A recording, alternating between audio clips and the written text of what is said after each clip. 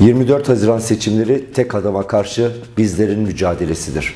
Emekçilerin, kadınların, gençlerin, Kürt halkının, Türk halkının, bu ülkede yaşayan tüm insanların ortak mücadelesidir.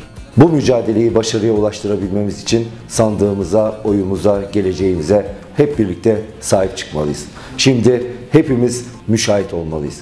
Herkesi müşahit olmaya çağırıyorum. Bizler kazanacağız.org sitesine girerek ya da HDP seçim bürolarına gelerek il ilçe teşkilatlarımıza uğrayarak müşahit olabilirsiniz. Bu sayede hep birlikte sandığımıza, oyumuza sahip çıkacağız. Oylarımızın takipçisi olacağız.